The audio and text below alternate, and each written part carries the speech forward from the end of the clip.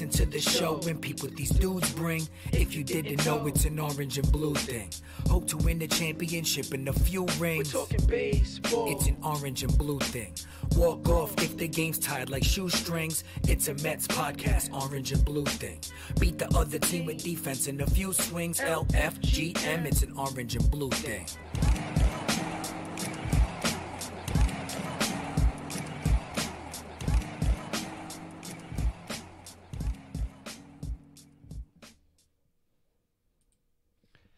What's up, Mets fans? It is March. That means baseball, real baseball, will be played this month. We are only 24 days from opening day at Citi Field. I am Darren Meenan, and that's Pete McCarthy. What's up, Pete? Three and a half weeks. Let's get it. Yeah, man. That that Thursday is going to be. I, I'm hoping for nice weather. I mean, this this They could play today. They could. Today would be nice. degrees, Yesterday was a little sunny. chilly. Yesterday was actually winter again. This winter was cold. It or was This weekend chilly. was cold, but uh, but yeah, I mean today ready to go. Eh, It's been so mild. I'm sure we got like a, another three blizzards between now and mid-April somehow. Don't say it. I Don't you hope, dare. I hope so. oh, you hope so? Listen, we got Amelia a uh, what do they call it? Uh, it's not a radio flyer. What do they call the the the sled? Like the metal framed sled with the wood on the top. Oh. Oh, yeah. Uh, it's Yeah, I not, don't know. It's not a radio flyer. Whatever it is, she got that for Christmas. It's been sitting in the corner ever since. Like Rosebud. yeah, I don't know what it's called. Uh, what's up, Lizzie? How you doing? Hey, I'm great. Good, good, good, good, good. Keep it going. All right, guys. So, uh, uh, yeah, spring training is in full swing. Actually, uh, this past weekend, yesterday was uh, Mr. Conforto's birthday. Had a nice little home run out there to the berm. It will always be the berm. It will never be the hill. Mets, stop trying to change the uh, name of the section out there. Little split squad. You had DeGrom going and Wacha going elsewhere. So Yep, yep. a lot of baseball. A lot of baseball. I mean, I couldn't watch yesterday, but I was listening on the radio, and obviously Howie and Co. always do a great job. But real baseball can't get here soon enough. But you know what? I feel like there's a lot of excitement. I think that the the team seems to be, at least on paper, looking to be a strong contender. And I don't know if maybe because I'm getting older or wiser or um, I don't know what the word is, but I am excited, but I'm not as like, hey, all in. I don't know. I don't know why. I don't know what's different about right now. Well, I, I some I just- that'll change once the season is actually here. It is spring training, and I think what is kind of nice is the Mets are a little under the radar over the last week or two. It's not like there have been major headlines breaking every day from Mets camp. In fact, it's really been the Yankees over the last couple of weeks with the injuries to Luis Severino. Before that, James Paxton and Giancarlo Stanton. That's the stuff that you want to avoid in spring training. You don't want a whole lot of buzz or noise around what's going on in your team. You want it to be quiet in spring training. And all right, the games are going on. Everybody's doing well. Jacob DeGrom gets in his three innings and looks fine and just kind of ho hum march towards the season. That's what you're looking for. You don't need a headline every single day. And the Mets had a lot of them coming in between Yoenis Cespedes and Jed Lowrie. And it's not as if we know a whole lot more now than we did then on those topics, but nothing new has really developed that would make you concerned. I mean, all you want to do, stay healthy, survive spring training, get through it, and then boom, start up uh, against the Nationals on opening day and be ready to roll. Well, how about Mr. DeGrom yesterday? Because that first inning, the top of the first, only took three minutes for him out Seven there. pitches. Seven pitches, three minutes. He went three innings, uh, struck out two, one hit, only fa- you know faced the minimum there, nine batters. Uh, he's obviously looking strong, looking ready to go. Uh, you can bring up the comparison just because it's something to talk about, but him and and Cole, who's the best pitcher in New York, is not going to go away. No, that'll be fun for The year. the foreseeable future. Yeah. Not just this season, but you know, for multiple years. Both these guys are signed up long term. One on a much more manageable deal than the other, with what Gerrit Cole is able to get, resetting the entire market. But yeah, they're both great pitchers. Look, I'd prefer to have Jacob DeGrom. I think he got back to back Cy Youngs, and DeGrom's also a guy that's won some big games in the postseason. Uh, you know, what he was able to do that game five against the Dodgers in the division series always sticks with me. And the fact that DeGrom so often he can not have his best stuff and find a way through. I mean, that's part of what sticks with you from that outing against the Dodgers all those years ago. But we've seen it time and again. he doesn't always it's not always easy for him Right. yet you always seem to look up and it's six innings two runs or less on the board at the very least and then those other days where he's got the great stuff and he could rack up uh, 13 plus strikeouts i mean then it's a whole other ball game but that that's what i love about DeGrom. he's so consistently terrific uh, that's where i would give him the edge over what gerrit cole did i thought cole uh, he should have been the al cy young award winner to me last year i mean he was as feared a pitcher as there was um, maybe in the game at the end of last year, but you got to do it for a little longer period of time, like Degrom has. DeGrom's always able to find a way, like you said, even when he doesn't have his best stuff. But uh, I forgot to start this off in the jump. The share contest giveaway is sponsored by us, the Seven Line. So if you share the show right now, if you're watching on Facebook, hit that little share button.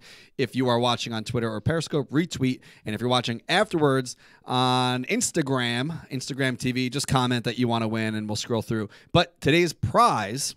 Mr. McCarthy, is a $20 gift card to the Seven Lines website. So if you guys had your eye on something, you could use it for anything you see on our site uh, game tickets for the away games, apparel, accessories, whatever. So Get those tote bags now. Oh my God. Yeah, the totes. You know, shout out to Lizzie who popped in to my office the other day and she said, Hey, uh, the New York City ban on plastic. New York State. New York State ban on plastic kicks off on Sunday. You should probably start pushing those canvas bags because we we bought them because when we joined the Alive After Five at, in Patchogue, it's plastics banned uh, for when you sell products on the street. You can't give out plastic. So we ordered the canvas totes initially thinking we were just going to have them on the truck, not put them on the site.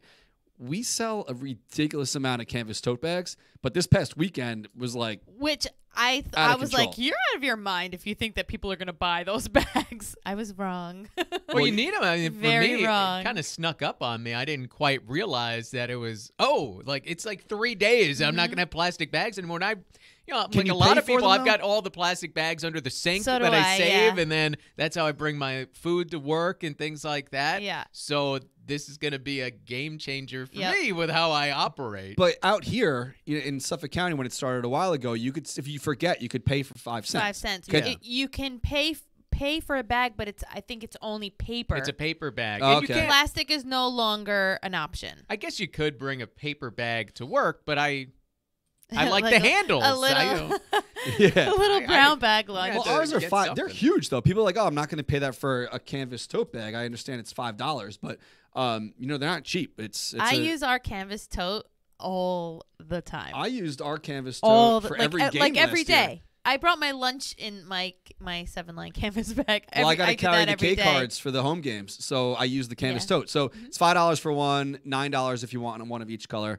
Go to sunline.com if you live in New York or you just want to help the planet there. But um, I do have something else coming out pretty soon that I can't show off yet. It's not a canvas tote bag, but another bag that you will be able to uh, uh, stuff with all your favorite Mets things soon. So stay tuned for that. But um, yeah, so our friends at Dugout Mugs are giving away four hundred dollars. Does do you have, What?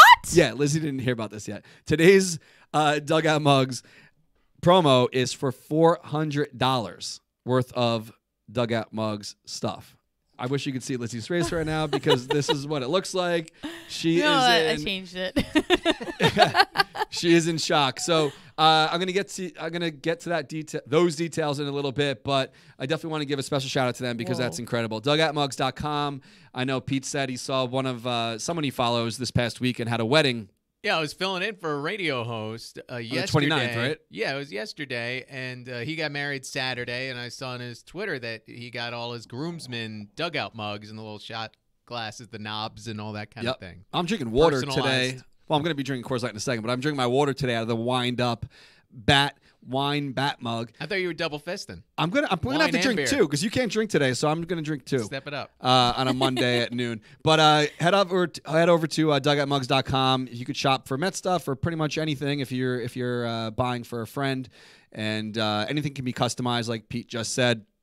They make bat mugs, they make wine mugs, they make bottle openers, they make shot glasses, and uh, they make a whole bunch of great stuff. So dugoutmugs.com, and definitely stay tuned to find out how you could be one of the lucky fans to dip into that $400 worth of free stuff. But I am going to crack open this brewski. I I really need one today. cheers to Lizzie. Cheers. Pete actually has another job after this. Cheer. I don't know if it's bad luck to Cheers Water, but doing it anyway. Cheers, Lizzie. Cheers. Shout out to our friends at Coors Light. The best beer for noon on a Monday. Uh, Pete actually has a bunch of different jobs, so he shouldn't really be drinking here and then going someplace afterwards. No, I can't do that. So I mean, nobody would know. but I'm just, the just hydrate up. nobody would know unless they're watching the show. But you know, This is just straight whiskey in here anyway now. So I'm Lizzie's boss, and we encourage drinking on the job, um, as long as everything is is uh, kosher with the orders. But I was thinking about maybe doing like a cookie and beer club coming soon. I, this seems to be a thing. Do you think maybe how would Cookie that and taste? beer, though. Cookies and beer, I mean, yeah, that- you what doesn't go good with beer? you can have a porter. a porter, Oh, there and you dip go. it, Yeah, dip it in. porters are are not not they're not as thick as as Yeah, it's like a dessert. yeah, and, and You're not they're having like eight of them. Yeah. I or guess I they have like a oatmeal stout. That'd probably be Mm. really good too. We should hit up Coors Light see if they got any any porters for us. All right, guys. So uh, the the Cookie Club, I'm sure you've heard about it, but the Cookie Club came out the other day. Shout out to uh, DiComo for getting the story. Um, I was talking to someone before we went live about this, and I don't know if it like does it ruin the Cookie Club at all now that it's so public? Do they want it to be more of like the secret society of cookie eating, or is it that's the point. is it is it less cool now that everyone knows about it? Is it less cool? Well, I don't know. It's a cookie club, so I don't think they're getting that many cool points uh, in the first place with this. But you know, this is what you hear from you know Keith and Ron on the broadcast that they used to do. You know, back the '86 Mets in the '80s, where they'd all crack beers and hang out in the clubhouse after the game and you know just shoot it a little bit, right? And talk about the game or whatever's happening. But you have that conversation and you know that you're able to help each other out when Yeah. you're spending like time together. They talked about that and with there's Bumgarner. camaraderie and all Yeah. that. So you know, I mean, that is a good thing for a baseball team to do. They they do it when they're on the road. They hang out and have cookies and milk. I mean, it's a little different than 30 years ago, I guess. But you know, when they're just cracking beers, but. You know, look, that's what it's about. And and you read DiComo's article and how there are little tips that they're able to share with one another after the game. I, that's a that's a good thing. That's the kind of stuff that you want, rather than everybody just splitting up, going their own way, and you know, going out to the bar or just sleeping at the hotel or whatever it might be. I mean, Yeah. it's important to spend that kind of that extra time together. I think anybody that works, you know, your favorite jobs are the ones where maybe you go to happy hour after work and Yep, you know yep. you talk about work for a little while and then you're over it and you start you know busting on somebody or you know just developing relationships and and hanging out. And I think um, yeah, I think anybody can identify with that, and that's a positive for your work environment and Yeah, for what sure. you're trying to agree. accomplish. Well, it's it's funny, like the difference between two percent milk and crushing beers. But uh, no, anything to get the guys together. I have a buddy of mine who talks so much shit about work, always talking about work. Oh, this person, that person, and then he still goes to happy hour with these people. I'm like, you talk so much crap about your job. Why are you trying to go out with them on a Friday? Don't you want to be like away from that? He's like, well, that's where we kind of chop it up about next week's work and yada yada. So, um, what I found interesting, I couldn't uh, find it in the article. I just tried to skim through. But Dom Smith, when he got hurt last year, one of his main reasons for wanting to stay with the team on the road was the Cookie Club. He, he liked being around the guys, uh, and they help each other out. And like you said, they they're they're trading tips back and forth. Maybe they're going to face a tough lefty the next day, yada yada. But um, the the Cookie Club, if you don't know and you haven't read it yet, it was Alonso, Alonso Davis, McNeil, Nimmo, Conforto, and Smith. I'm sure there's some other guys that bounced in there once in a while, but it was funny. McNeil the other day wrote, um, you know, he quote, quote tweeted DiComo and he wrote snickerdoodles and two percent milk. That was like his his uh, reply to this whole thing. So That's his uh, order. That's his go-to. Yep, yep. There is people have been asking like, where's the T-shirts? I already designed one. Lizzie saw it. The people who don't have a license with Major League Baseball, uh, you know, can put their stuff up right away without the proper approval. So I don't know how long it's going to take, but we have a pretty fire uh, Cookie Club T-shirt. Uh, in the wings, so we'll see if uh, it gets approved. Lizzie's smiling behind the scenes there. It's cute. I'll show it to you after after we turn this off. I said actually that that comment it's cute was the reply to one of I have a few people that I bounce ideas off of, and they wrote it's cute, and I'm like, well, yeah, what Cookie Club is tough, you know, like Yeah. it's supposed to be cute. It's a cute looking shirt. Well, it's a cute story, right? Yeah, I mean, yeah. all this stuff is, oh, it's cute. They hang out and have cookies and milk, and they're, you know, 20 something, 30 year old guys. And this is what they, they I do, think it's whatever sexy. it takes. It's sexy. I don't. I wouldn't say that. It's a Cookie Club T-shirt. It's not supposed. to... Uh, whatever. Uh, we'll no, see. the club is sexy, not the shirt. The shirt is cute. Oh, okay. Cut the sleeves off the shirt. make a That's how muscle- make it cute and sexy. Muscle T. Show off the biceps. but I think we should maybe we should try that in the summer. Um, try different beers that pair well with cookies and and dunk them and see what how they taste. I like it. Did you happen to catch the other day? I know SNY posted this afterwards. Uh, Keith Hernandez is uh, dairy free. Did you see that? I know that's a trendy dietary choice these days. He's dairy free unless he wants to eat a quart of ice cream. He said.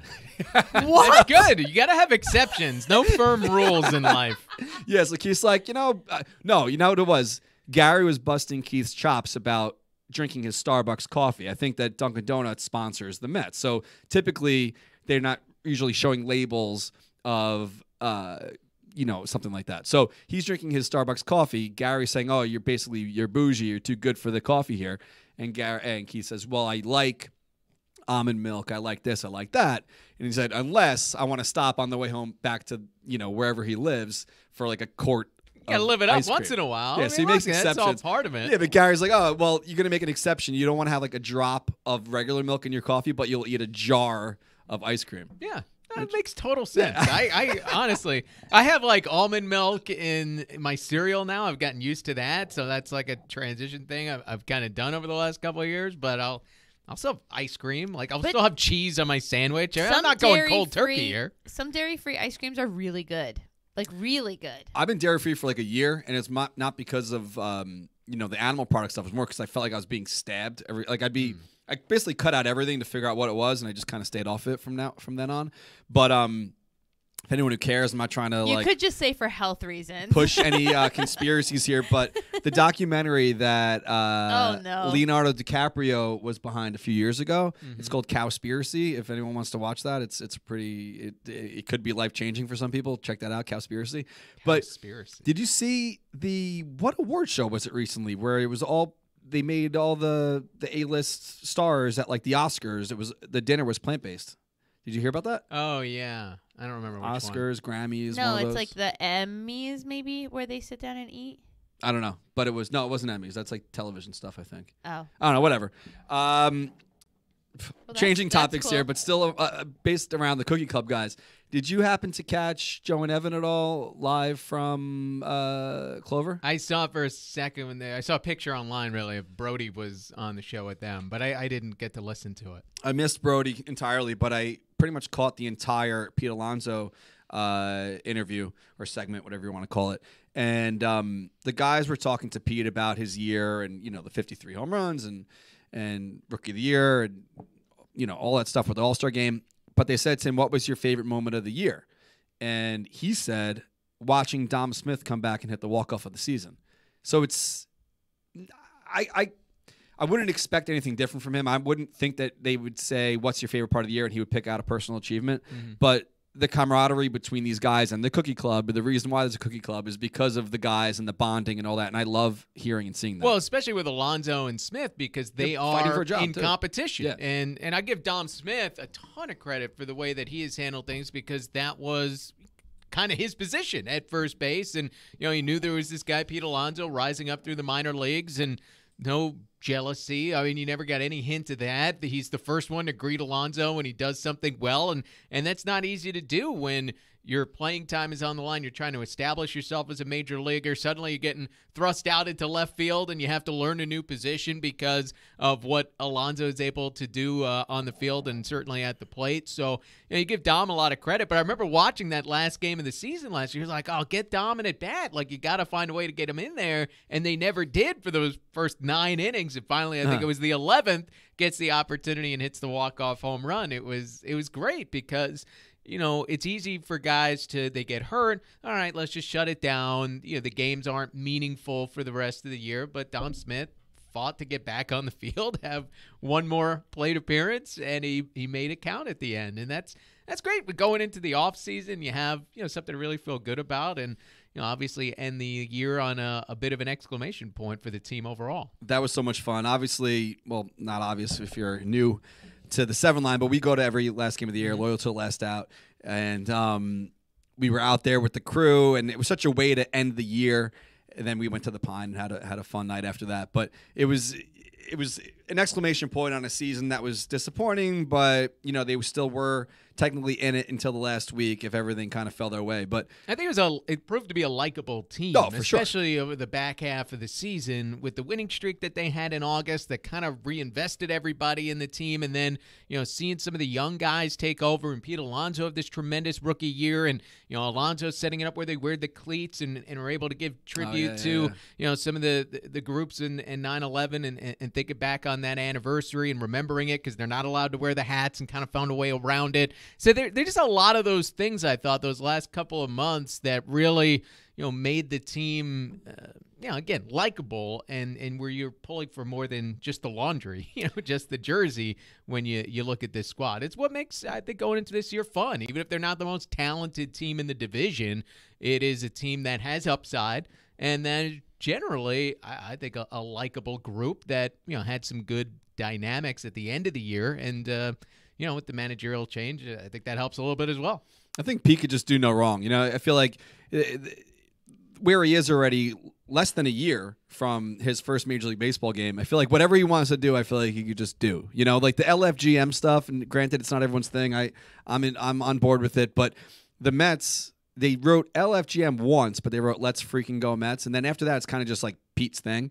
And if you watch the show, I tried to make a shirt. It wasn't approved by Major League Baseball, but they're kind of letting some things. If it's Pete, it's kind of like okay, and if it was someone else, kind of you know trying to maybe do the cleats or whatever, maybe it wouldn't have gotten as much attention or, or um, uh, approvals. Let's say. I feel like Pete's kind of like kind of almost running the show. He's like the captain without being the captain already. Well, I think yes, and, and he has a lot of that, but I I think stands out about Pete versus a lot of other players that come up and come through is he has tried to understand what makes the Mets unique. Like their history. I remember you know, he called back you gotta believe and I don't know, maybe it was like a little forced at the time and he read something on the wall in the clubhouse Yeah, that they have and kind of brought it back. But, you know, a lot of guys won't even make that effort because all 30 teams have their own little cultures and histories and idiosyncrasies. And it seems maybe it's just because they grew up with the Mets, but it seems like the Mets have even more than than most teams or maybe anybody with a lot of these things. And I think Alonso wants to know those things and what makes the Mets unique and then kind of, you know, play into that a little bit. You know, like the Mets connection in the days after September 11th and you know having an idea that oh fans want to see them wear these hats and they wear the hats for the first responders during batting practice but then they can't wear them during the game and finding that workaround I mean that's just the kind of thing to me where it's like a guy took the time to learn a little bit about the the history of the team its place in the community, right? And okay, what what can we do? And then have the you know foresight, the work ethic, whatever it takes to actually follow through on it and do something that people can say, ah, that's a nice gesture. Yeah, let's not forget his winnings from the home run derby. He donated a portion of that as well. Yeah, so Wounded he, Warriors he's and the then man. uh, Pete's the, the Siller man. Foundation, right? Absolutely. Uh, so yesterday I was having a little fun on social media in the morning. I think maybe a couple days ago. Maybe it was Saturday night first, but uh, this weekend's been a blur. Amelia has been waking us up at five in the morning every day. But um, Lizzie, I don't know if you saw this. I know you had a busy weekend as well. I decided to ask the public on our social channels for the seven line if Mrs. Met had a first name, what would her name be? And it this got like thousands of replies across did social see media. it. What would you What would you think? Do you I didn't. I I'm don't. gonna read a couple of like notable ones here, which make a lot of sense. But I don't know if I necessarily have a name for her, but I did see somebody wrote Mr. Met should be Homer, and she should be something that was like you know baseball related, and I thought it was really cute, but now I don't remember. Not Marge. no, no. I saw some people try to like link in Syndergaard somehow and say that uh, I don't watch Game of Thrones or whatever he's on, Thor, whatever. Uh, the the wife of Thor should be her name, but Okay. Well, don't- Thor's not Game of Thrones. whatever it is, I don't watch that stuff. I don't know what. I I watch have no Game idea. of Thrones. I mean, Cersei might be a little aggressive for Mrs. So- Met. I think she's a nicer person than Cersei. But, uh, Definitely. I don't know. Does Thor? uh, I don't know anything about Thor. I, I know nothing seen about Me comics neither. or Yeah, the superhero stuff I'm a little out on, but I am up on Game of Thrones. I don't think there's a Game of Thrones character that would fit the Mr. Met, Mrs. Met universe. I don't know. I've never seen even a second of the show, but uh, I I want to shout out a couple notable uh, responses here. So Jacqueline Petras, I hope I'm saying that right, Jacqueline or Jacqueline, Jacqueline on Facebook wrote Nancy. And Mr. Met should be Tom, like Tom and Nancy Seaver. That, that would make sense. Uh, Kevin Crawford, also on Facebook, wrote Karen because she needs to speak to the manager. Uh, uh, Mets funny. underscore militia on Instagram wrote Met Trisha, Okay. like Patricia. Met Met, Trisha. Met Met. yeah. That's pretty good. Um, and then a couple, a lot of people actually said these top three. Uh, I don't, I don't know if they said this for this reason or because they know the sentimental reasons, but Shannon would be great for Shannon Forde. Huge, uh, huge uh, Mets connection there. Um, Joan for Joan Payson. That's the first one that came to my mind. Joan Mm-hmm. or Shea. So those would be some good ones. Uh, I asked Amelia, and she said uh, rainbow, flower, or rose. And obviously, Alyssa Rose jumped right in. Rose, I'm all about it. so uh, I don't know if Mrs. Met really needs a name, but that's what you talk about in February. Well, what does uh, Mr. Met have a name? Like, why why did it uh, strike you that Mrs. Met? I don't know. Might need a I have no idea why I was thinking about this, but I was. Oh, maybe it was because we're doing our bobblehead this year. Maybe I was thinking about the bobble, and I don't. I don't, I don't really know. I'm thinking about stuff 24 seven. Lizzie knows. I'll text her, and I'm kind of like forget what time it is. It'll be like one in the morning on a Wednesday. I'm like, hey, uh, what do you think of this? And then I, like look at the emailing time, and I'm like, w- you one know in what? the morning on a Friday night, you know, and like, oh, okay, this is, you know, what when I finally have time to like sit down and do things, it's just the worst time for any other human being. well, I should email because well, I, we don't ever. I've never Don't- sent an email to her in my life. I don't I think. don't. Oh, yeah, I would But- prefer a text. I email you sometimes because you have weird hours. I'd rather email you than text you. But more, more responsive on email. oh, really? Oh yeah, I'll start doing emails more then. Well, yeah, I don't Then text, text that much. message? yeah. Really? Well, text me. I tend to. I'm like in my email all the time. I'm Oh. not. A text. Sometimes I'll see it, get busy with something else, and I don't. Do you go keep your back. phone on silent? Yes. Me too. So I feel like when I get an email, I don't even know unless I'm- Silent with the vibration or just completely? It's completely silent. wow. because I do radio stuff, so I don't want to Oh, go yeah, off true. at, Yeah, at yeah, random times, and then like the whole thing buzzes and it hits the microphone. So. I always have it completely off, so which is not good. um, I don't even know where I was going with that, but the uh, yeah, I'll hit her up often in like the middle of the night and whatever. So So Mr. Matt, are we naming him too? If we were going to, I like the idea with uh, uh, Tom and Nancy Seaver. If we had to do a duo there, okay, I think that'd be pretty cool. Tom Met. Tom met. Let's take it. Uh, you know, Bill Shea. Uh huh. Name him Bill. Yep, Kind yep. of the father of the Mets there. Yep. Well, I have a book. Uh, they'll call him Mr. Met. Is what it's called. You should get it. Um, you know, free ad right there. But uh, you know, I used to read it to my my daughter all the time. She actually requested it, and you'd think it'd be something like I'm trying to push it on her, but she'd want to read it. And it's got the whole family in there, so it's got the story. You know, obviously make pretend here. I don't know who wrote the story, but it had to get approved somewhere of how Mr. Met came to be. He was sitting out in the outfield once the. Uh, uh, the the Dodgers left Ca- for California, and Casey Stengel walks out to him and says, "Hey, kid, you want to be our mascot?" And that's how Mr. Met supposedly is born, uh, according to this book.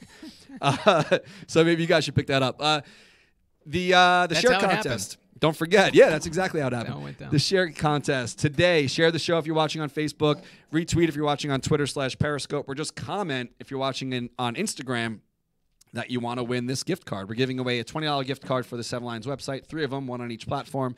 We're also on YouTube. Our YouTube um, uh, viewers viewership is very low. It's almost embarrassing low, but we're kind of new on there right now. So uh, if you want to watch on YouTube, maybe you got Apple TV or whatever, you could watch the show on YouTube as well. And obviously, streaming uh, uh, podcasts pretty much anywhere podcasts are listened. And don't forget about that four hundred dollars we're giving away, or they're giving away for dugout mugs towards the end of the show. But I want to bring up another story here, uh, which it's not usually commonplace uh, for you to get news on a player from the player's wife, but there was a lot of chatter last week about Brandon Nimmo's uh, irregular heartbeat. I guess he was wearing a monitor for a while, monitoring what was going on. I guess his, the the walls of his heart they want to make sure they didn't get thicker, and this is kind of like a normal thing, but you instantly hear. Brandon Nimmo's wearing a heart monitor, you jump to conclusions and think the worst. You know, where he was out of a game for cardiac further cardiac testing, and you know, like Brad Wieck of the Cubs, they uh, checked him too. He needed to have I guess a, a quick surgery. Um, I'm forgetting the, the name of it, but you know he, he's expected to come back and pitch within a couple of weeks. But it, it's good they do some of these tests and find some of these things because we can all think of some athletes that you know had some heart trouble out of nowhere, and you know when you're racking up that heart rate on the field, obviously these are things that are good to be aware of and to look out for. Uh, but yeah, I think everyone was a little, oh, what's going on with this? And uh, yeah, Chelsea Nimmo, Brandon's wife, she's a nurse, so she's up on all these things as well. But just wanted to put everyone's concerns at ease, I suppose. Yeah, it was pretty. It was pretty much the same day because you know she's got Twitter. She probably sees all the chatter going on about her husband. She's she chimed in and said, "I'm just going to say it. Brandon's fine, other than wishing he could play. The timing was inconvenient and caused the media storm." She followed that up with, "P.S. I also apologize in advance if this breaks any rules that I don't know about." So uh, she kind of kind of cover her bases there, but I'm sure it's fine to say your husband's okay. Well, okay, if a bunch of people are tweeting at you because Right, they right, know right. that she's on social media. Hey, what's going on with Brandon? We hope he's okay. And like, you know, say we're sending thoughts and prayers, whatever it might be, thinking it's serious. You probably want to allay the concerns a little bit. But this is this is kind of the the new world, right? Everybody's got the platform, the ability to put things out, and you know, it's Chelsea Nimmo uh, breaking news on what's happening with Brandon, and that you know, there's It was like no the headline deal, on no every concern. story. Yeah. Yeah. well, when he was scratched from the lineup, and then Matt Adams. No, hurt. her- Oh, oh, oh, It was like on yes. SNY, you know, Yes. Mets blog. All he's like Chelsea says he's okay. Yeah. I, have you ever ever had a chance to meet her? Yes. Uh, so we did QBC? the Queens Baseball Convention. I interviewed Brandon for about an hour at the uh, at the convention, and so I I spent some time with Brandon and Chelsea beforehand. And I was just kind of like needling her a little bit because you know an hour is a long time to interview a, a baseball player, and I didn't know how loquacious Brandon could be. Uh, but I was like, oh, you know, give me some dirt on him. Like, yeah, give me some stories. I could kind of, you know, and she was a good sport about all of it, and uh, you know, it was great. So she was very nice, very sweet, and um, you know, getting a chance to chat with them a little bit. And I know, you know, he got married. They got married about the same time that my wife and I did. So I was talking to Brandon once about, you know, honeymoon and all that kind of stuff. He apparently ran into Travis d'Arnaud on his honeymoon in Hawaii. No way. This is like a joint honeymoon. They- I guess Brandon and Travis went like snorkeling or something together uh, as part of the honeymoon, but they had no idea they would be there. They just ran into each other in the lobby or whatever it was, the hotel, like small world kind of stuff, even on the other side of the world. they couldn't be a nicer couple. You know, a lot of these you deal with a lot of players and you know interviews and stuff like that with these guys, and sometimes it's let me be here for the paycheck, in and out, sign some autographs, take some pictures, and be out. I don't know if Lizzie remembers, but uh, the Nimmos stuck around at Catch. They ordered dinner. They sat down. They chopped it. They stayed for an extra like three hours. I'm like breaking down the orange and blue thing set. They're still sitting there talking to people. Like, could not be nicer, and definitely not you know uppity on their high horse, bougie, whatever the words you want to use. They're so down to earth, and Totally just down to normal earth. people. No, he won everybody over with that interview. Yeah. because you know, Brandon Nimmo wasn't yet established, and I remember that week talking about on my radio show, hey, they should consider dealing Brandon Nimmo to the Pirates for Josh Harrison. Uh-huh. And it's a good thing I'm not a general manager, but you know, for I thought Harrison would be, you know, excited guy at the top of the lineup. Does a lot of different things, and Nimmo hadn't yet had the big year that he had in 2018. This was right before that, and it was kind of his breakout season. And so I, I remember talking about that on the show all week. And then, all right, now I'm going to interview Nimmo at this event. And I asked him about it and the trade rumors, and he just kind of shrugged it off like this is Part what of it the is. It yeah. wasn't really anything new for him because as a prospect, he was a first round pick and he's got a lot of uh, high ceiling. And then it was kind of his prospect status took a dip where it's, oh, well, he's going to be a fourth outfielder at best, and maybe he won't even make it up to the major leagues. And he kind of had this little roller coaster ride on the way up. And I think, you know, he's proven he's more than a fourth outfielder. He's been terrific when he's healthy, when he's right, and that'll be something that he has to prove this season that he could stay on the field. But, um, but yeah, I mean, as as nice a guy as you're gonna find, I think, in any clubhouse, any athlete. I mean, he was uh, he was incredible that day. And that's why I feel like the QBC is so important to have around each year. Maybe not on the grand, large level that they were planning to have in Mulcahy's this year, but the QBC, and we talked about this a couple weeks ago too. QBC and Mets Fan Fest can absolutely coexist. They're so different from each other. Like watching, not that you want to watch Brandon Nimmo eat dinner, but being in a in a restaurant bar setting with Nimmo and hanging out and talking, whatever, is completely laid back compared to what you might see at Citi Field. So. Keith and Dan, hopefully they're going to bring that back. But on the same breath, do you know that I did get the wheels in motion a little bit on this cruise? Oh, really? So I had a phone call on what was our show last week? Tuesday. Mm-hmm. Sh- I had a phone call with Jim Breuer on Wednesday, and he just came back from a similar style cruise with uh, band, oh, shit, I don't know the name of the band, and uh, the Impractical Jokers just just did a cruise. So there's a company in Atlanta that Jim's going to hook me up with that helps plan out the whole thing. Wow. So people think that I'm just like, oh like my lord. I'm mad. Like this is It's like oh, happening. there's some stupid. You know, Darren's got some dumb idea again, but it's it could really happen. Seven line cruise. I'm buying Dramamine now. and bunch of those masks for Pete because he's nervous about getting sick for uh, you know the. Well, the masks aren't going to help you. You get stuck on the boat. I don't, I don't want to be locked up on the boat for a week. That'd be a bad idea. No, it's two weeks. Yeah, I- no, I think we're thinking like a four day thing. So No. that's not that's not dead. So Yeah, no, I'm talking about if you have to be quarantined, yeah, you have to be there for two weeks. all right, but back to Brendan Nimmo. Where do you see him in this lineup? Is he going to be leading off? He should be. I, I, I think this lineup is the best when Nimmo's on top. That's what he does. He gets on base by any means necessary. He can walk. He can get. He gets hit by a lot of pitches as well. Whenever it takes to get to first. So that's what he does. You know, the knock on Nimmo is that he doesn't hit for a high average. So. You know, he's not a guy that I want hitting seventh and is coming up with men on in scoring position because he's not that effective in that position. He's not going to be driving in runs. Brandon Nimmo's job is to score runs, get on base for McNeil, get on base for Pete Alonso. So, you know, that's where I think Nimmo is the most value. Just get on base. That's your job. That's your one thing to do. And then I love Jeff McNeil hitting second.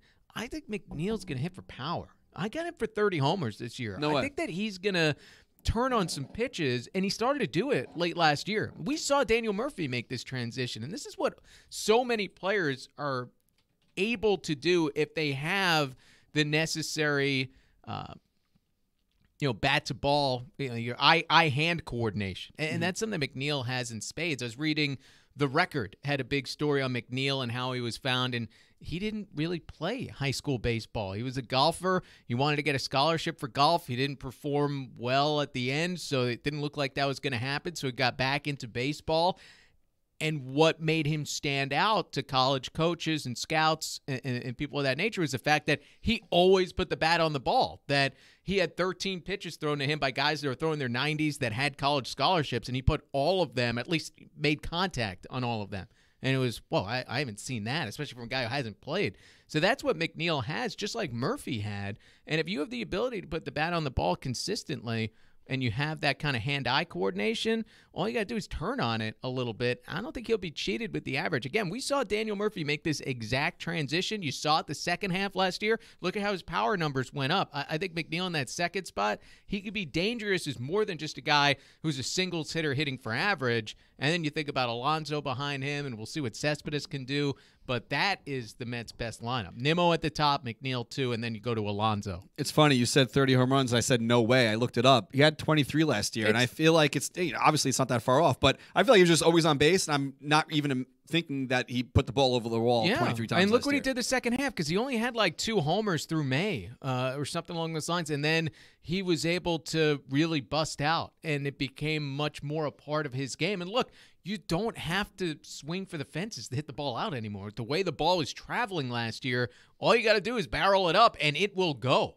So, Unless they change the ball. Well, uh, we'll see what everyone hit 20, everyone hit 20 home runs last year. It seemed like in the postseason the ball wasn't traveling in the same way. But yeah, I, I really think McNeil's going to be much more of a power bat, and I don't think that he has to lose anything to do that. We talk about this with Conforto. See, I think Conforto sells out for home runs, and he becomes too pull conscious, and he loses average. He loses when he does that. Conforto should go left center field bunch of doubles and the home runs are going to carry out and he can have 30 home runs and still hit 290 i uh-huh. still think that michael conforto has that if he stops trying to hit it 500 feet to right field But that's he doesn't have swing. to do that i know but I'm joking. but for for Conforto, that's what I look at for him. McNeil, turn on some extra pitches, and I'm telling you, he will hit for a lot of power, and I don't think he'll lose anything. So a guy that hit used to hit for a lot of power for the Mets was in camp this week. Mr. Mike Piazza made his annual trip to uh, I'm about to say uh, well Clover Park, but uh, he was in camp this week, and um, you know he suits up, gets in uniform, sits in the dugout, takes questions from the reporters, and so on and so forth. But um, a couple big ones that came up were, "Are you buying the Mets?" He said no, and uh, I don't really know what the other big one is, but. Um, Well, I guess he's not going to manage the Mets because he's someone who is going to manage Italy in the World Baseball Classic. So I don't know if he has interest in being a manager or coaching full time. It's a little bit of a different job description, uh, the World Baseball Classic versus a, a major league team in a 162 game schedule. But yeah, it's an interesting road for him to potentially go down because he was very involved. He owned a soccer team over in Italy and it didn't end very well, but he was very involved and I think he's a guy who wants something to do, uh, something to to get involved in, to build from the, the ground up, and I, I think that's why you know the Team Italy position really spoke to him. But you know he has interest in in various things, but uh, owning the Mets will not be one of them apparently. I mean, you need some big time money to own the Mets. Even Alex Rodriguez doesn't have the money to Yeah, buy this you- Mets team, where you're talking about billions of dollars. That's why you form a group. You know, Yeah. you buy you got a group of guys, they're guys and gals that want to want to chip in and get this done. But I like this photo he put up on uh, Instagram, Mr. Piazza here, uh, standing next to his his wall, his big photo there on the wall. It says, uh, "You want me on that wall? You need me on that wall." And I guess that's from what? Um, shit. Um, damn, what movie is that?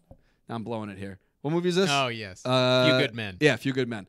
So uh, that's the story of Piazza. I mean, uh, some fans weren't thrilled with his um, his answers about who owns the team. Clearly, he's buddies with the Wilpons, and he went golfing with uh, Jeff the other day. But he said something like uh, he thinks the Mets are in a good place right now, which obviously a lot of fans aren't gonna be as excited to hear. That uh, you Well, know, he said that Wilpons care about winning. they care about winning more than it seems. Is, is what he said. Something like more that. than they get credit for it. Right. I don't want to quote him exactly. Yeah, Yeah, yeah, paraphrasing it, uh, but I I don't disagree with him. I think that the Wilpons want to win. They are, a, a, you know, Fred Wilpon considers a baseball guy, and and Jeff. They just. I don't think they've had the financial wherewithal to be able to get the Mets to that next level. And and the other thing is they want to win, so they involve themselves, and so that they shoot themselves in the foot with that, rather than taking a step back a little bit. So I I understand what Piazza's saying. Obviously, is um, you know, got has a relationship with them a little, you know, Yeah. beyond. Yeah, yeah. So one person who is not buying the Mets is Piazza. Another one who's now in discussions with, which some people are freaking out about. Uh, James Dolan is looking into buying SNY as Mets sale rumors swirl. So obviously, I don't think SNY is up for sale on its own. I think you kind of have to buy the whole uh, the whole package here. But um, Dolan as Mets owner, how do you think that would go over in the city? Well, he, he has money to spend. He, he's spent money on the Knicks, on the Rangers. That hasn't been the issue. It's you know which owner are you getting? Are, are you getting the one who's going to meddle like he does with the Knicks? Or and the Rangers, like right. we were just talking about with the Wilpons has been a problem for them. Or is it going to be okay? You hire a John Davidson, you hire somebody who knows what they're doing, you let them run the team, and if they have to rebuild for a couple of years, you let them build it up. And you know, look at the Rangers with the run that they have made over uh, the last couple of months, and trying to make a surprise run towards the postseason. It's kind of a tough weekend for them, but you know that's that's the difference of what you're going to get. Which side of James Dolan? I think what people want from an owner is fund the team and hire somebody competent and let them run it. Give them the autonomy. You don't need to involve yourself just because you were successful in some other industry or some other business or your dad was. It doesn't mean that you have to put your imprints on every decision that the team makes. I mean, I think we all understand that ultimately, you know, approval comes from ownership, Uh-huh. but don't involve yourself in the day-to-day machinations of the team. And these are some of the things that have held back the Knicks, and, and you could talk about the Mets in the same way over the last couple of decades. for the most part, I feel like um, the Wilpons are pr- pretty okay, pretty good with kind of um, not silencing, but kind of brushing things off. I'm sure when they walk through the stadium, people are probably yelling at them, sell the team, so on and so forth. Dolan, the way he treats skin, yeah. the way that he is at uh, MSG Mm-hmm. when things aren't going great and he's getting people ejected. Yeah. This is not a good idea. Um, yeah, so we'll see what happens. But uh, share the show if you want to be in the running for the $20 gift card. We will get to the big dugout mugs promo in a little bit. They're giving away $400 worth of mugs, which is absolutely insane. Lizzie, I don't mean to jump in, but I think someone's at the door if you want to go uh, see what's going on over it's there. the mailman, and he'll come around the back. Uh, okay.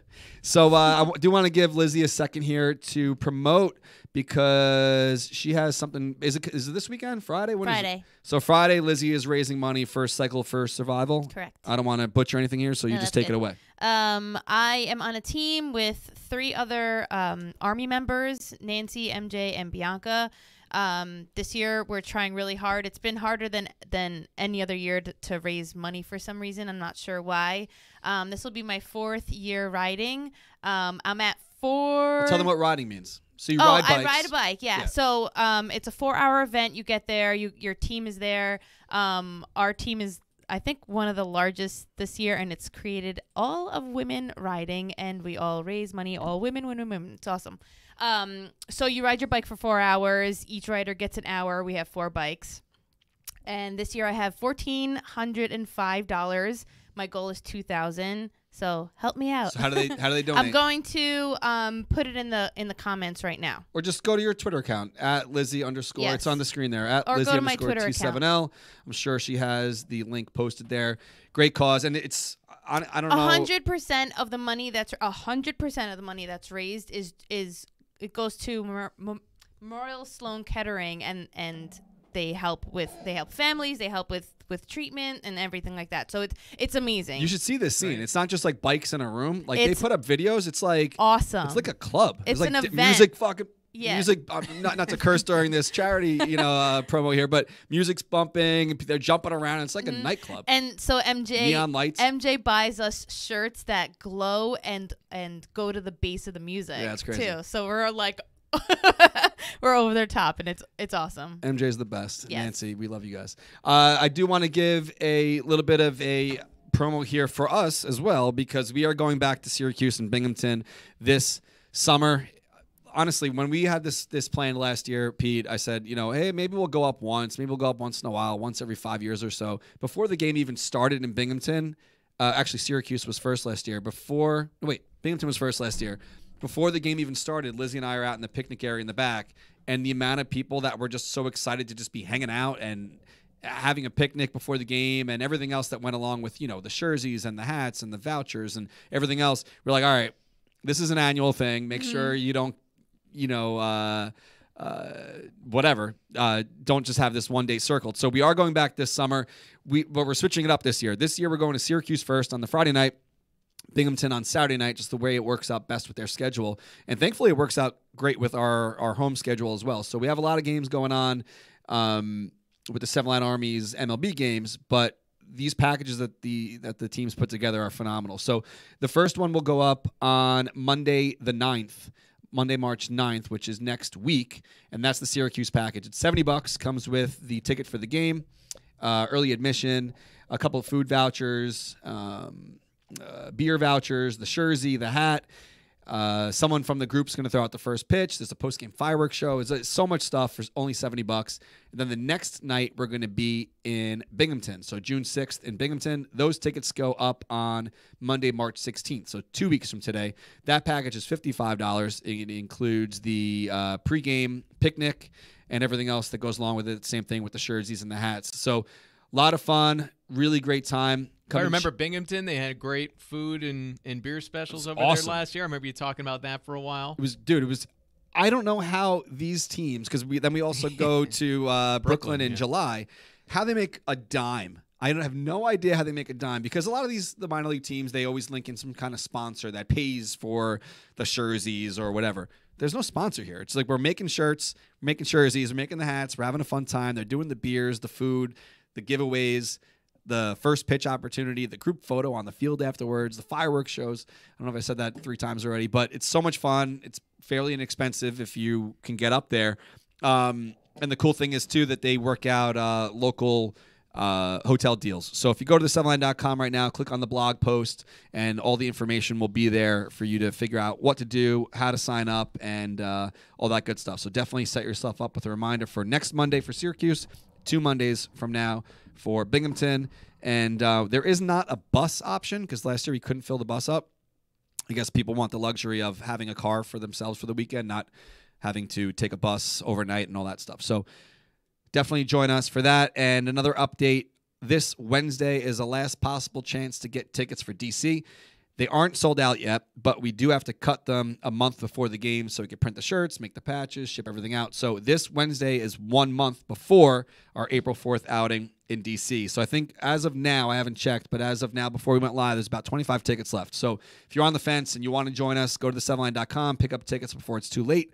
If you're listening to this on a replay, it might be sold out by now, but the7line.com and uh, join us. So Lizzie's going to get to the share contest in just a couple seconds here, but um, I do want to bring up something which is just totally random, but Mike Trout hit a golf ball about like a thousand feet. I, maybe It's I like the cartoon where the ball starts screaming when it's in the air. It was that's how he hit the golf Sounds like the top golf seen it. place. It looked like a top golf place, I guess, in Arizona, where the Angels are training. And he basically had the whole place stop to watch him drive and put on an absolute show. I mean, it's like Happy Gilmore style drive, or result at least, without having to put that much effort into it.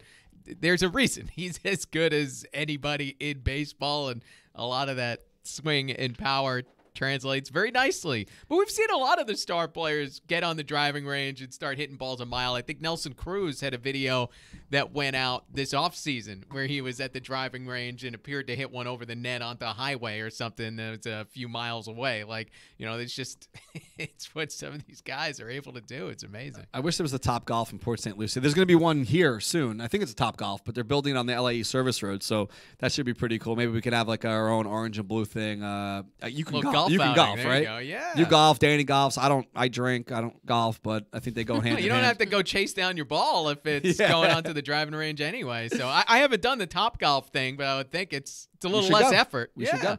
The uh, I went to the golf the driving range a couple times, maybe ten years ago. But Kelly and I went, and when I hit the ball, it basically goes straight up and like lands next to me. So if anyone's next to me who's like really serious about golfing, they usually just take their shit and leave, because like I ruin everyone's time because I don't know what I'm doing. I'm hitting the ball. It's like Yeah. there's usually a net above you, right? It hits that, it lands in front of the guy Stick next to me. mini golf, huh? Yeah, mini golf. Uh, so let's get to this dugout mugs promo because this is absolutely incredible. And I didn't want to say this promo earlier because you might want to turn off the show right now. Uh, and that's the last thing we want to do. So their promo today is phenomenal. So go to dugoutmugs.com slash OABT and they're taking $20 off the first 20 people's orders. So that's $400 worth of mug discounts on dugoutmugs.com slash OABT. And you don't need a special promo code. When you type that in, the website knows to automatically deduct $20 from your cart. So That is so cool. load up, personalize a mug, get whatever you want. Our dugout mugs should be here soon for our website. Uh, we're doing the Seven Line Army mugs and LGM mugs should be up soon. So dugoutmugs.com slash OABT. The first 20 people will get $20 off their transaction. So Cool. definitely uh, watch. Our, our viewership just went, it just took a dive and exploded into the ground. You but can open a new tab, you know. You don't have to close this one. smart man, Pete. I got 15 tabs open at all times. I'm one of those people. Not me. I, I I freak out. Like the bottom right button, if you open up on the iPhone and you you click to see how many open tabs you have, I, I need it to be like three or less. I Oh, can't no. have No. Oh, all those no. things open. I got Yeah. like 15, 20 tabs. Oh, I'm, I'm always on this site, so I'll just keep this one so I go back to it. No, it's, I'm not OCD. I've had the Gmail, the numbers and the unread emails up to like 10,000. What? Oh, yeah. I mean, if, if That would Oh, give me so people much can't anxiety. handle that, My I don't emails mind. are crazy. That would give me so much so much anxiety. Like our, if our emails for here are higher than like 15, 20, it's I get free, I freak out. I'm like Lizzie, get to the emails before Friday. Get to those emails. And uh, you know, because it's just us. People think we have like this team of people replying to stuff. It's here you go. It's us. So, um, Lizzie, are you ready to do this share contest? Yes. All right. So here's the deal.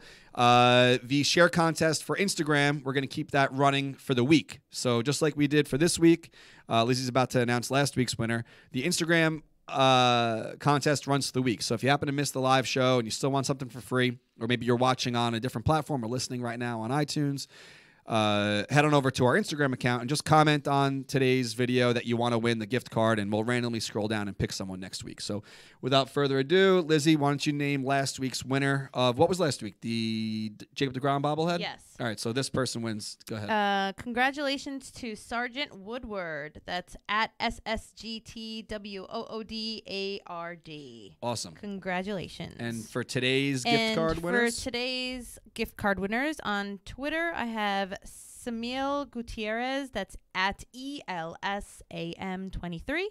And on Facebook, uh, Kyle Mitchell. Awesome. Congratulations, guys. Congrats, guys. And uh, something else I want to talk about.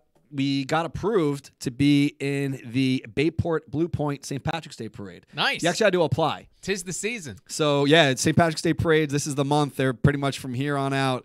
I think they almost go into into April now because there's just. I think my hometown of East Islip had it this past weekend. I mean, it's Yeah. already started up. Well, because people like to go to all of them and they don't want to overlap. So they It's a whole month, baby. and you know Shoemaker was telling me um, a lot of them now are linking in like 5Ks. So there'll be like a 5K before the parade. So you can burn off some calories for all the beers you're going to drink once you get to the parade route. I That's a good idea. Yeah. Get- you know, it allows you to start earlier than you otherwise would because you get up early for the race, you finish up at 10 o'clock, and then boom, you're free. You already were productive today, so you can start start up boozing up, uh, you know, morning time, mimosas, beers, whatever it takes, you know? I was saying to Kelly this mood. weekend since uh, Amelia she had her first ever dance competition on Saturday, and um, their team got first place. Lizzie, did you know that? No. Well, there was only one team in it, oh. so they're they're comp- they're like different categories, and uh, she's four. So whatever the group was, the group number, there was no one else in the category, so it was cute. They still got the, the trophy and everything. But That's cute. we've been running. Our hours have been crazy. We've been getting up at five o'clock, but like you said, you have a full day by ten. By nine in the morning on Saturday, I feel like I had a, a complete full day. It was like nine fifteen. I was like, all right, what shit? We've been up for four hours already. Um, yeah. So St. Patrick's Day, if you're going to be out here on Long Island, we're going to try to link up with one of the local bars along the parade route. So once the parade's over, we can park the truck, hang out, and maybe we'll bring some dugout mugs to sell or something like that. So it's not going to be a full blown like live after five style, like hey, let's set up, set up a sales truck. But we'll have the truck. We'll be giving away some free stuff. I got to order some flags for the for the truck, and uh, should be a good time. So. Um, How's He- the truck looking? I haven't been in the back yet to to, to check it out. it still runs. Yeah? Looks good. Yeah, you know what? It looked good last year. It, it looks great. I mean, and you know what? Driving the truck down the LIE or wherever we happen to be going, we get a lot of beeps, a lot of looks. And the first day I ever drove to a game, I thought I was getting pulled over. Cop pulls up next to us. I had the door open because it was it was it was summer or it was warm enough to have the door open. I'm like, shit, is this illegal? I see a lot of the post the post office guy drives Yeah. the door open, and like, shit, I'm getting pulled over. So he starts beeping. I'm like, all right, do I gotta get over? He's like, no, let's go, Max. He's like yelling on the highway. He's like, woo, yeah. then he starts taking pictures while he's driving, which is definitely illegal, Mr. Police Officer. But uh, it's a great time, and um, I'm jumping around here. But at that dance reci- dance competition, I had the idea to put some extra miles on the truck. I want to start stopping at people's jobs throughout this month on random days throughout the week if they happen to be close or I'm passing by and bring them stuff for them and their Mets fan coworkers to get excited about the season. So if you haven't seen that tweet, go to my Twitter account, Darren J. Meenan, and I am going to be scrolling through and seeing who might be along one of my routes this month, and uh, I'll stop by and give you some free stuff to get you excited about the Get the truck on the cruise, you know? Oh man, oh man, Put it all that. together. Oh Gotta my get a helicopter to drop no. it off on a barge right next door. Please all right, guys. don't give him any more crazy ideas. So I think we got to everything. Stay tuned for all things Mets. That's an orange and blue thing. We'll see you next Monday. Definitely head on over to Lizzie's Twitter account and donate if you can. Thank no you. donations too Thank you. small. No, I will take any donation, literally. Throw some change or what are they? Oh, damn, what was that movie? Uh, uh, I, I got time. Um, what was the movie? Uh, Coming to America. When they're they're asking for donations, and she goes, "We like the, we accept the the, the kind that jingles, but we we prefer the kind that folds." So Yeah. go on over to Lizzie. I probably butchered that. Go on to Lizzie's Twitter account. Digital anyway, Darren. Come on. Close enough. Get hit Venmo, whatever it is. No one has cash anymore. All right, guys. Orange blue thing. See you next week, and uh, that's it. Let's go Mets. See ya. guys.